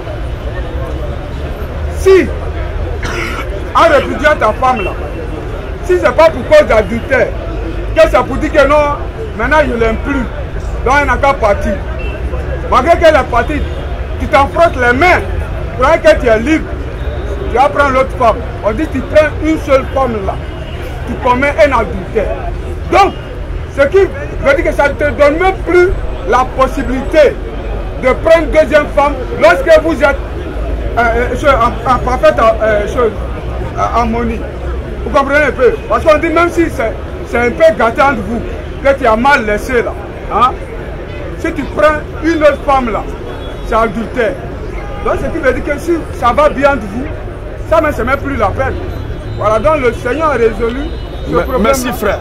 C'est comme ça, nous aussi, on passait avant. C'est comme ça, on passait avant. Comme tu as demandé de te centrer. sur le verset 9, puisque c'est là-bas que se trouve ta préoccupation, moi aussi, je reste là-bas. La Bible est claire. Celui qui répudie sa femme sauf pour cause d'infidélité. Toi, tu viens de dire adultère. Moi, ma compréhension au-delà de l'in- euh, de l'infidélité, dans la Bible, là, va au-delà de l'adultère. L'adultère fait partie de l'infidélité, mais toute infidélité n'est pas adultère. Ça, c'est un premier point. C'est- bon, c'est bon. Pardon, je t'ai écouté, frère, pardon. Je t'ai écouté. Hum, je t'ai écouté. Alléluia. L'infidélité là est un, vaste champ dans lequel se trouve l'adultère, la rébellion, l'insoumission, l'arrogance, l'orgueil, l'impolitesse, l'entêtement, le défi ou la défiance de la femme vis-à-vis de l'autorité de l'homme. Alors, il y a l'infidélité qui s'étend à plusieurs niveaux, dans lequel se trouve l'adultère. Je veux parler de ce mot-là. Maintenant, le Seigneur dit celui qui répudie sa femme, sauf pour cause d'infidélité, et qui épouse une autre femme comme un adultère. Je dis Amen, frère. Parce que l'Écriture nous a présenté quatre types au sujet de, de- la femelle de l'homme. Suis-moi bien. Au sujet de la femelle de l'homme, l'Écriture nous a présenté quatre types. Il y a la vierge. Hein? Celle-là n'a pas connu de garçon et elle n'est à personne. Laisse-moi terminer. Il y a la veuve, c'est-à-dire, elle était de vierge mariée et son mari est mort. Il y a aussi la femme, celle qui est dans le foyer. Si elle est femme, elle est femme de qui? Elle est à quelqu'un. Maintenant, il y a celle qui n'est ni vierge, ni veuve, ni dans foyer. Ce couple est appelé prostituée. Vous comprenez? Donc ces quatre types-là existent. Maintenant, la Bible dit celui qui laisse sa femme, sauf pour cause d'infidélité, et qui en épouse une autre femme, qui épouse une autre femme comme un, adultère, effectivement, il va le prendre femme de quelqu'un d'autre. C'est pourquoi l'Écriture nous a bien expliqué, dans la même Bible là, dans Matthieu 5, oh là là,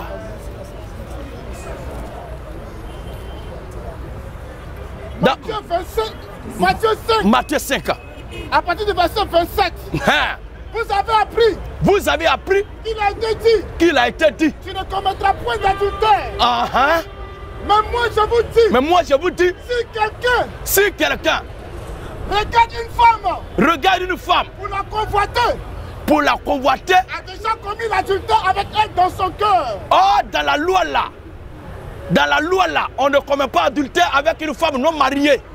La Bible dit si un homme commet adultère avec la femme de son prochain, une femme qui n'est pas mariée là, tu couches avec elle, soit tu la maries, soit c'est la débauche, soit c'est la prostitution que tu es en train de commettre. Vous comprenez? Ensuite, Il a été dit il a été dit que celui qui répudie sa femme que celui qui répudie sa femme lui donne lui donne. une lettre de divorce. Tout est bien détaillé là-bas. Mais moi, je vous dis, Mais moi, je vous dis oui, que celui qui répudie sa femme que celui qui répudie sa femme, sans pour cause d'infidélité, hein, l'expose l'expose devenir adultère. parce qu'elle est ta femme. Tu la laisses, tu l'exposes à devenir maintenant toi-même. Et que celui Et que celui qui épouse une femme répudiée commet un adultère. voici qui est clair. Parce que la femme, dans le vide comme ça là, la prendre n'est pas un adultère. C'est quand tu prends la femme d'autrui que tu commets un. Parce que la, la- Bible dit quoi dans Romains chapitre 7, le verset 1 à 2 Romains 7, Romains 7, le verset premier. oui, Ignorez-vous, frères, ignorez-vous frères, car car je parle je parle à des gens qui connaissent la loi. à des gens qui connaissent la loi. Et la loi Que la loi, exerce son pouvoir la loi exerce son pouvoir sur l'homme sur l'homme. aussi longtemps qu'il vit. Voilà.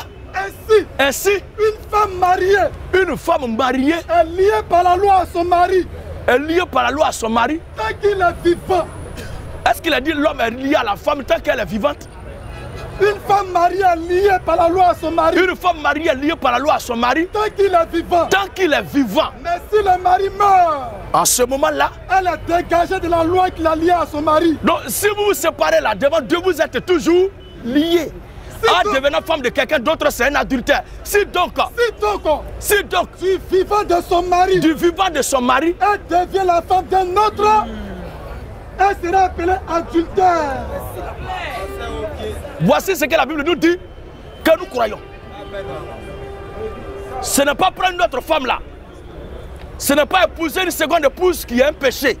Mais c'est prendre une femme qui appartient à quelqu'un qui l'a laissé, c'est ça qui est péché. Lévitique 20, 10 ans. Parce qu'il y a adultère là. Il y a adultère lorsqu'un couche, un homme couche avec une femme mariée. L'écriture dit quoi? Lévitique 20, 10 ans. Voici la loi qui dit ça. Si un homme Voici, si un homme. commet un adultère, Il couche à femme, lui commet quoi Lui, son soi, c'est quoi? Mais tout dépend. Écoute-moi bien. Écoute-moi très bien. Tout dépend de l'acte qu'il pose.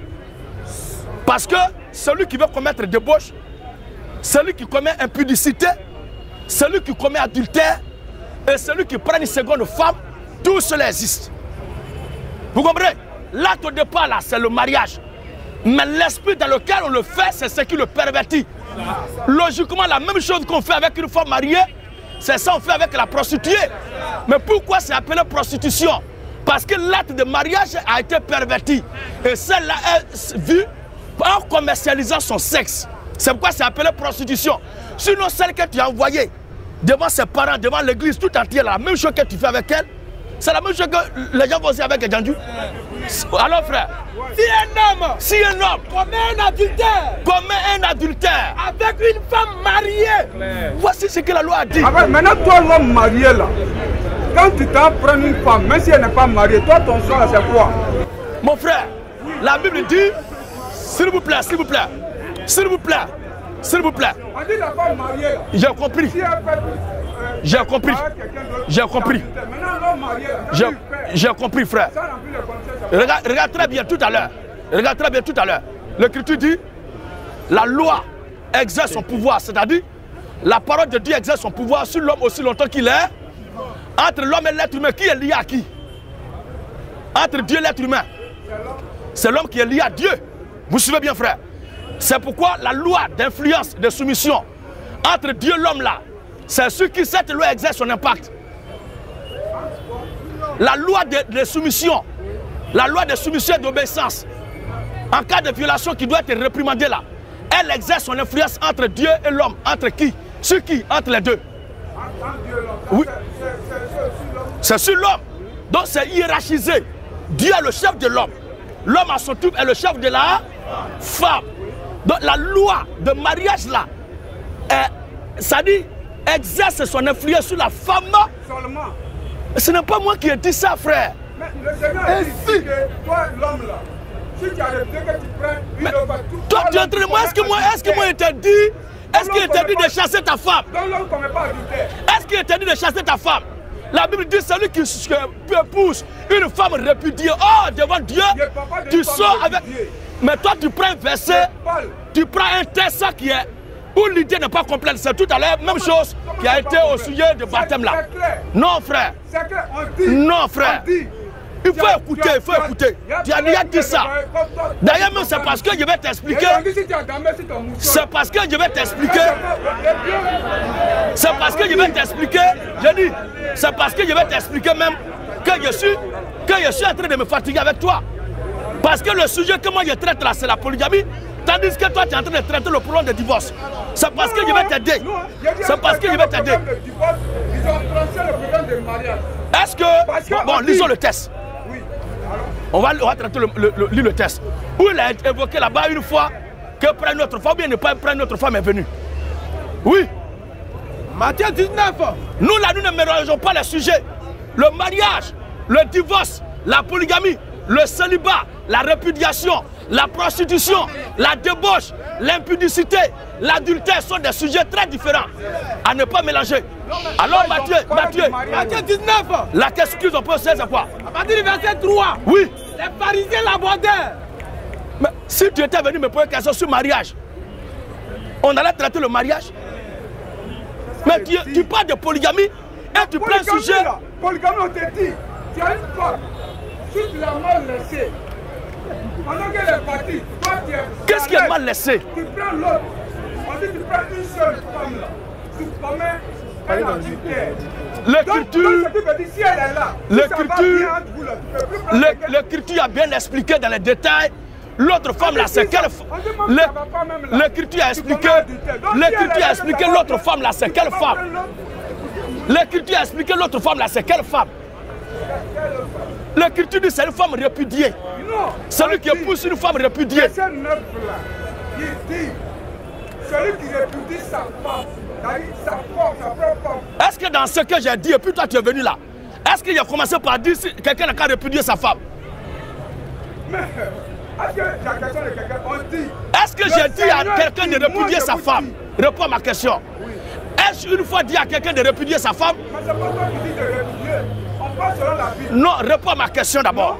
Est-ce qu'il a dit à quelqu'un de répudier sa femme? Non. Alors? Mais pourquoi tu viens me parler de répudiation? répudié, là, Si mal fait là, tu perds une seule même là. C'est adultère. Donc si ça va bien vous là, c'est que tu ne peux même pas saluer même. Oui, c'est que tu ne peux pas saluer parce que malgré que tu dis c'est gâté, toi tu es à l'aise, tu es là, tu as mangé.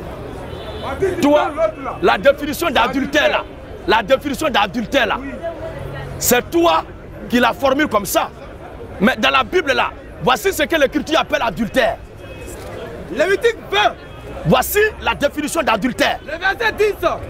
Si un homme Si un homme commet un adultère commet un adultère, avec une femme mariée, Mais le Seigneur dit toi l'homme là, si tu fais une autre tu. Pourquoi lui dit toi l'homme commet adultère c'est pourquoi le Si tu Seigneur. Est-ce que le Seigneur s'est arrêté là? Parce que les versets là, les textes là sont complémentaires. C'est le même Seigneur là. Matthieu, lui, c'est Matthieu 19 là. C'est la deuxième fois qu'il revient dessus, puisque déjà préalablement, comme on ne peut pas répéter la même chose, mais il faut aller à l'essentiel, précédemment, il avait déjà traité cette question-là. Il avait déjà traité cette question-là. Précédemment, il est allé jusqu'au au bout dans les détails.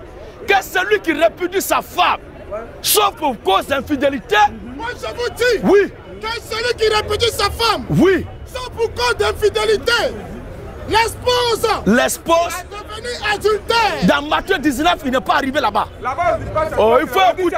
Il faut écouter. On dit toi-même. Oh.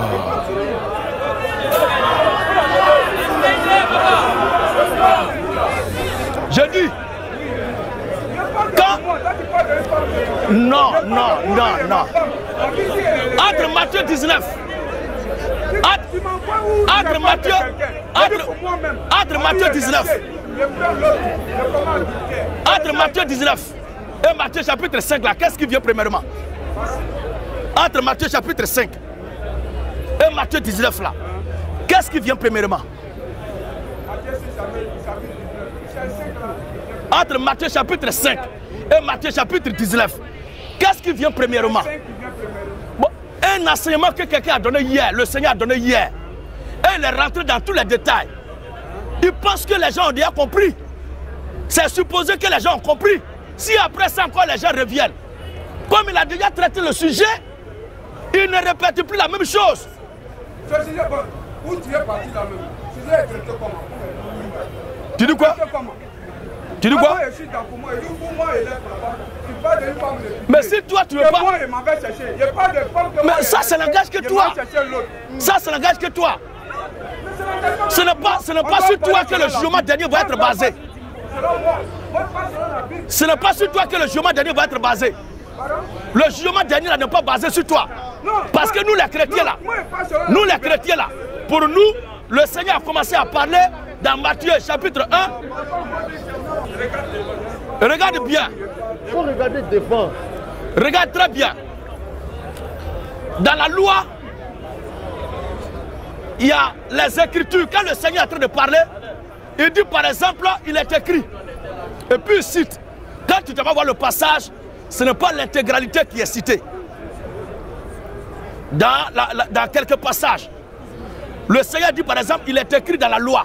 Quand tu prends la loi et ce que le Seigneur récite, ce n'est pas textuellement ce qui est écrit là, qu'il récite, mais il dit l'essentiel. Comme lorsqu'il discutait avec Satan, où Satan dit si tu es le fils de Dieu, jette-toi.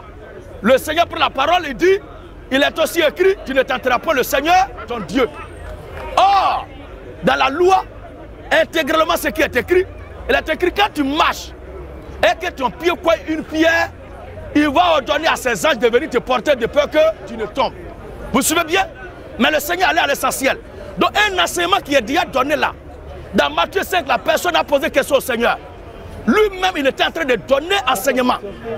Il était en train de prêcher. Il était en train de donner enseignement. Il était en train de faire des exposés. Vous comprenez?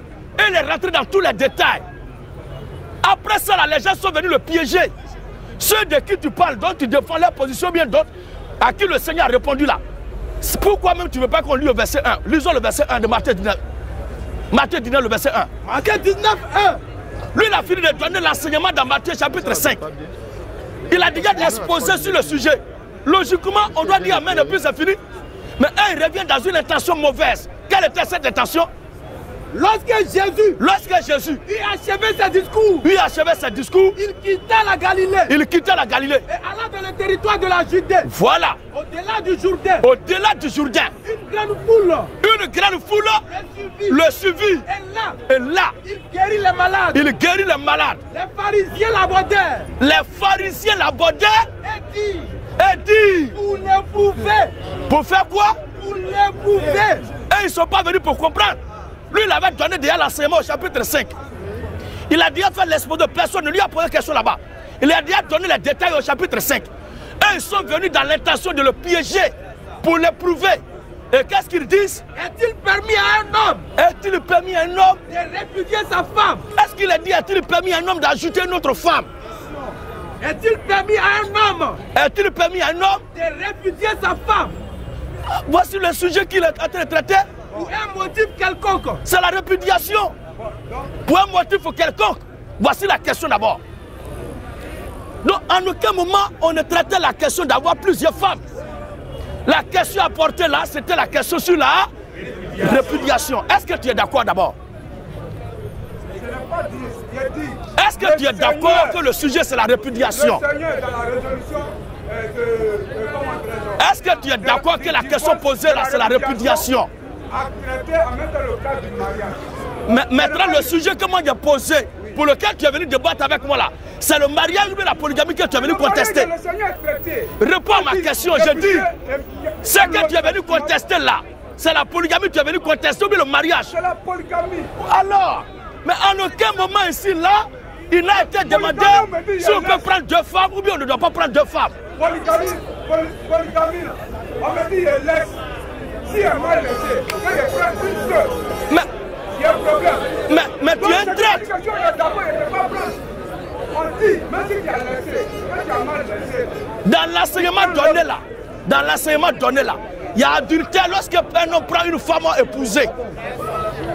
non. Ici, on dit, si tu as laissé, que tu prends une autre. On n'a pas dit épouser. Quel autre ordre est indéfini?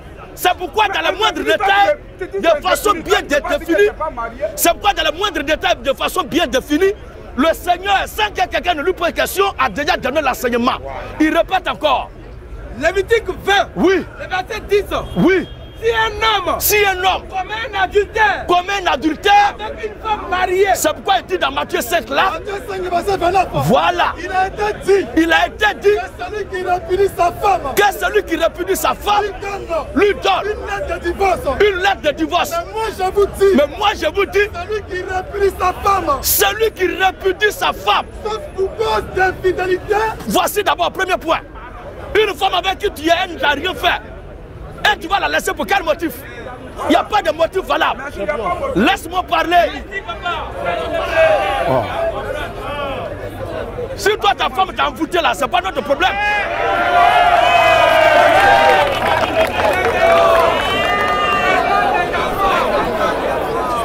Alléluia. Si ta femme t'a envoûté, au point que tu ne peux pas avoir l'esprit ouvert, ça c'est pour toi.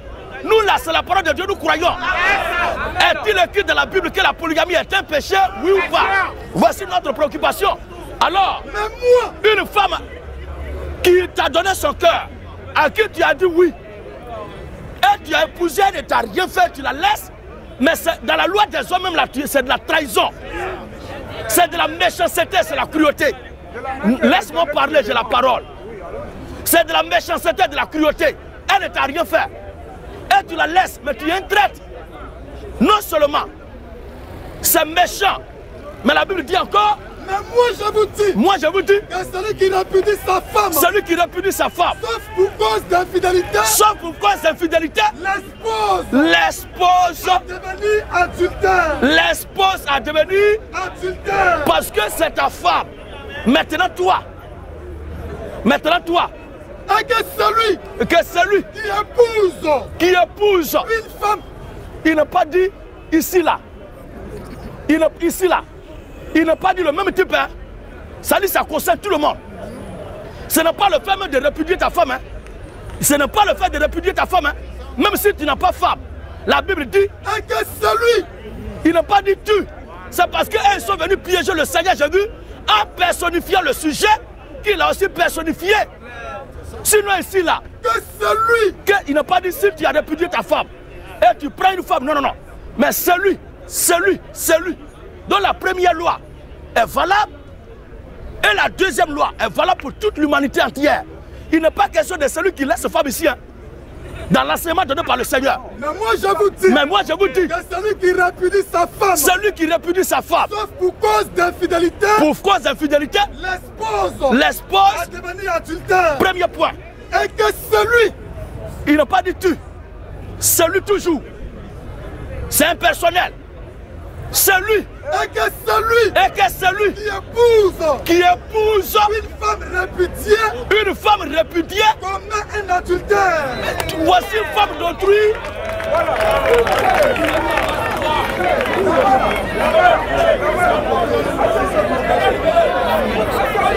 Au suivant.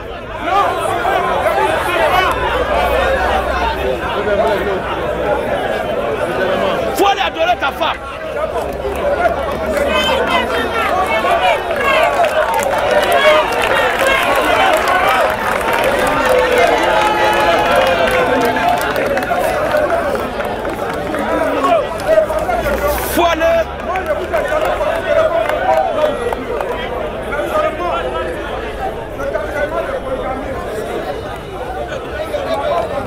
Moi je suis là, le jour où je serai devant le Seigneur, Abraham le polygame sera là, Jacob le polygame sera là, euh, Salomon le polygame sera là, et les enfants d'Israël seront là.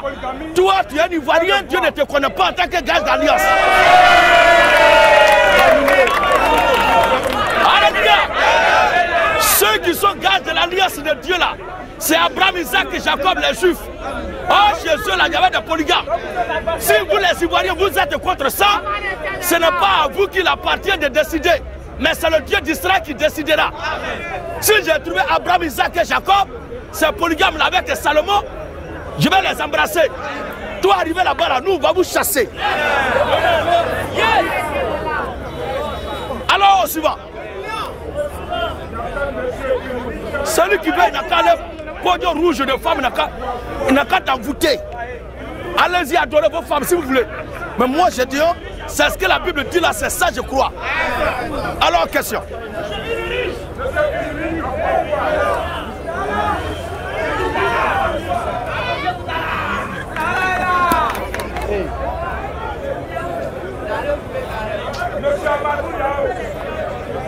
Mr. Yao Amadou. Il est 19h, lui derrière. 19h 5. Alléluia S'il vous plaît, ne pervertissez pas mes propos. Je n'ai jamais euh, euh, obligé quelqu'un. Dans mes prêches, je n'ai jamais obligé quelqu'un. Je n'ai jamais dit que avoir plusieurs femmes est une obligation. Je n'ai jamais dit aussi se marier là est une obligation? Pour chacun de nous parce que chacun sait à quel moment il peut se marier selon ses moyens. Je n'ai pas aussi dit de chasser vos femmes. Je n'ai jamais dit ça. Mais j'ai dit si quelqu'un veut augmenter le nombre de femmes qu'il a et qu'il a les moyens, il ne pêche pas. Celui qui a une seule femme ne pêche pas.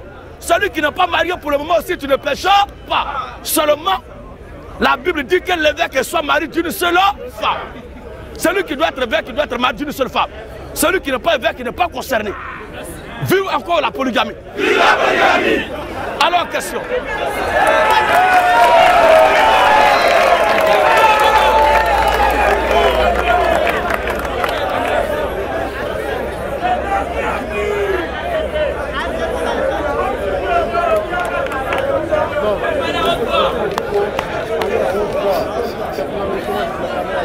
S'il vous plaît, écoutons le frère Yao. Oui, bonsoir. Ce soir-là, c'est pas du jeu, c'est une question de vie. Le micro. Quand on parle de Dieu, c'est une question de vie. C'est pas de l'amusement. Ce monsieur-là, c'est l'homme de Dieu. Seulement, je vais éclaircir les choses. Je vais savoir les choses. Ce monsieur-là, Dieu l'a loin. Je ne suis pas prophète. Seulement, je suis en quête de vérité. Ce que je ne comprends pas, je demande. Cela je suis ici là. Parce que question de Dieu là. Quand on parle, vous pensez que c'est du jeu. Non Nous, on a dépassé un certain âge. On veut savoir où on s'en va. On veut savoir là, où on s'en va. Moi, j'ai été baptisé. Si on me rebaptise, si on pas me rebaptiser, ça va dépendre de la vérité de ce que j'entends. Dans la fin de vérité là, ça devient un problème national ou international. Où est-ce qu'on s'en va avec Dieu? Où est-ce qu'on s'en va avec Dieu? Donc vous pensez qu'on a, on arrêté là pour rien? On n'est pas là pour rien. On est là pour quelque chose. Je me suis déplacé le dimanche passé, aller à la mission Sebel à Godio. Je suis arrivé entre 9h. La mission, je suis arrivé avec toute ma famille. Parce que j'ai dit à ma famille, j'ai trouvé quelque part là, ce monsieur, je dis, il parle de Dieu, et moi j'ai aimé. Donc, on m'a dit, il à Bobo, mais il a une mission à, à Bassam. Donc pourquoi on n'est pas là à Bassam pendant que je suis en Nani? C'est Dieu, s'il a son enfant là-bas, moi il m'avait, hein, c'est comme ça que je suis arrivé. La seule chose que je veux savoir, est-ce que pour prier là-haut, il y a une forme, on peut se coucher, on doit s'agenouiller ou comment on peut prier? La position dans la La position, parce que moi je suis arrivé là, pour prier là, ça dépend de ma liberté, de ma personne, de ce que j'exprime. Est-ce que je ferme les yeux? Est-ce que je mon genou pour prier Dieu? Ou est-ce que je me couche pour prier Dieu? Jusqu'à ce que il y a eu les impositions de main. Pour quelque chose s'est passé, je ne sais pas. Et pendant la prière, moi j'étais là, tout le monde a fermé ses yeux, dans son genou, et moi j'ai les yeux levés, et on m'a dit de fermer les yeux. Je dis, mais, hein, moi j'ai prié Dieu, c'est que je vois. J'ai pris Dieu comme j'entends. Est-ce que j'ai besoin de fermer les yeux ou de me positionner couchant ou lever Je suis venu parce que j'ai entendu la voix de la vérité. Si c'est la doctrine là, je ne veux pas. Donc je veux savoir, comme l'homme de Dieu est là, je vais lui poser la question de savoir, est-ce que vous priez Dieu là? Il faut qu'on s'engeloue, il faut qu'on ouvre les yeux. Ou on- la Bible, je ne connais pas trop, hein, mais quand la vérité sonne dans ton cœur, là, tu sais que c'est la vérité. Donc c'est ce que je veux demander. Alléluia. Pour revenir à ta question, frère, il faut être honnête. Quelqu'un qui ne sait rien et qui ne connaît rien, qui dit qu'il a entendu la vérité, il est venu pour suivre la vérité, la Bible dit de vous soumettre à vos guides. Vous comprenez? Lisons le test. Hébreu 13, le verset 17. Écoutons, écoutons ensemble ce passage. Obéissez. Regardez bien, ce ne sont pas dit, notre combat là n'est pas de combattre ce que la Bible dit. Hein. Ce que ces pasteurs là font, qui est dans la Bible, nous n'avons pas le droit de combattre ça. Mais ce qu'il faut qu'il n'est pas dans la Bible, c'est ce que nous combattons. Parce que la vérité de Dieu, c'est toute la parole de Dieu. Or, ils sectionnent les parties qui les arrangent et ils laissent les autres. C'est ce que nous combattons. Si un enfant qui vient de naître dans une famille, moi je n'ai jamais vu ça. Ton, ton comportement là, je n'ai pas été là. C'est maintenant j'apprends ça. Je n'ai jamais vu un enfant qui vient de naître dans un milieu et le même jour-là, il, il, s'oppose à ses parents. Je n'ai jamais vu ça naturellement même. Or, les choses naturelles doivent nous enseigner les choses spirituelles. Un père de famille qui se déplace après avoir entendu la vérité avec toute sa famille. Toi-même, tu t'opposes à ce que tu as trouvé comme guide là, devant tes enfants. Quand tu vas arriver à la maison, tu vas donner des instructions à tes enfants et puis ils ne vont pas respecter. Comment tu vas trouver ça? Comment tu vas trouver ça? Or, nous, quand nous sommes malades arrivés à l'hôpital, l'ordonnance que le médecin nous prescrit là, on ne discute pas. Hein? On s'en va, on s'en va prendre, on s'en va payer. On va à l'école. On nous dit 2 plus 2 égale à 4. À l'école primaire, on dit on ne peut pas faire 1 moins 6.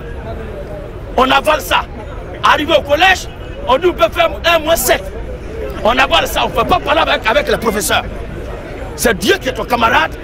Tu as trouvé les hommes de Dieu, tu dit fais comme ça. Et tu, tu, tu refuses. Ah, Dieu, Dieu, attends, attends. Dieu c'est ton ami. Et c'est là-bas que tu as trouvé pour faire quoi là? Dans ton service. Dans ton service, ton patron dit tout le monde à 7h30. C'est pas problème, tu te bats, tu te primes de sommeil pour être là avant 7h30. Parce que c'est dans le monde, dans la chair.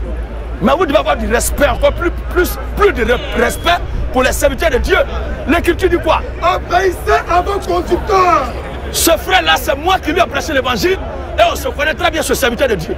Il ne peut pas instaurer quelque chose qui n'est pas bienséant. Jamais. Et quand tu parles de jusqu'à ce qu'arrive le temps de l'imposition de main, je ne crois pas qu'il impose les mains aux gens dans le billard comme ça. Il y a d'abord les gens qui sont malades, qui viennent, qui demandent sujet de prière pour que les serviteurs de Dieu prient pour eux.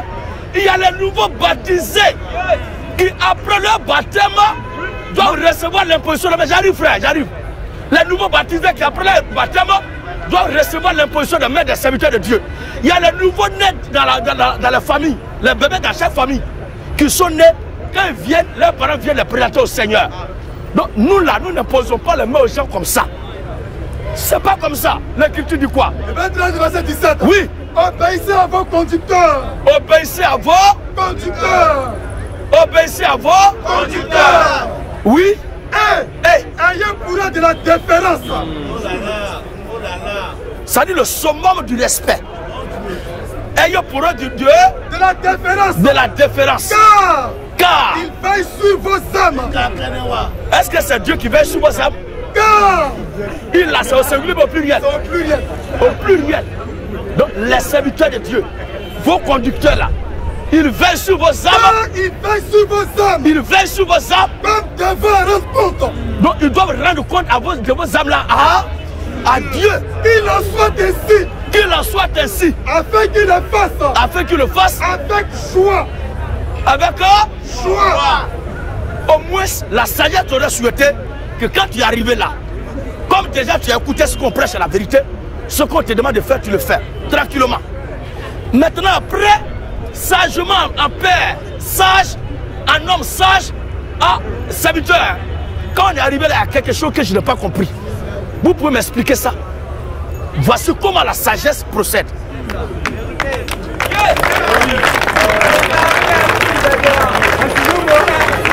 Maintenant, pour ce qui concerne de fermer les yeux, nous-mêmes là, nous sommes cléments. Nous n'exigeons pas trop. Dans les Écritures, tous les serviteurs de Dieu qui se sont rendus à la présence de Dieu, c'est face contre terre. Face contre terre. Coucher même. Toi, au moins, tu es debout. C'est pourquoi tu as le temps de regarder qui est ici. C'est parce qu'on ne t'a pas dit de te coucher. Les Abraham, là, quand ils ont vu Dieu, attends, les Abraham, là, de la présence de Dieu, ils se couchent par terre. Les apôtres, quand ils priaient là, c'était genoux, genoux fléchis. Même les anges, même qui étaient dans la présence de Dieu, ils couvraient les yeux pour ne pas le regarder. On ne peut pas vous dire quelque chose, moins qui n'a pas de traces dans les Écritures. Comme nous sommes dans un temps où il y a assez de raisonneurs comme vous, pour ne pas scandaliser les gens, parce que l'objectif c'est de gagner les âmes avant tout. Si vous rentrez, vous êtes en train de prier, mais quand même fermez les yeux pour être concentré. Et nous qui les yeux ouverts, il regarde ici, il regarde, il est distrait. C'est la distraction. C'est la distraction. C'est tout ça là. Les anciens ont vu même le sacrificateur. Quand lui rentre, il se couche même. Souverain sacrificateur, il se couche par terre. Visage procédé par terre. Mais ils ne vous ont pas demandé ça. Vous étiez debout, c'est ça qui vous a donné la force de discuter. J'aurais souhaité, j'aurais souhaité, j'aurais souhaité qu'on ne s'expose pas comme ça en public. Je suis venu, non, je suis venu prier Dieu. On a fini. Serviteur, hein, tout à l'heure, il y a telle chose, telle chose qui s'est passée, je n'ai pas compris. Sagement. Comme le temps qui m'a été accordé par les autorités compétentes, puisque nous sommes dans un pays de droit, il faut respecter l'ordre qui règne. Alors, comme ici le public est vraiment accueillant et très sympa, ça nous donne encore envie de revenir. Que Dieu bénisse la jeunesse de ce quartier. Que Dieu bénisse le président de la jeunesse. Alléluia. Que Dieu bénisse la Côte d'Ivoire. Que Dieu bénisse l'Afrique. Shalom à tous, à la prochaine.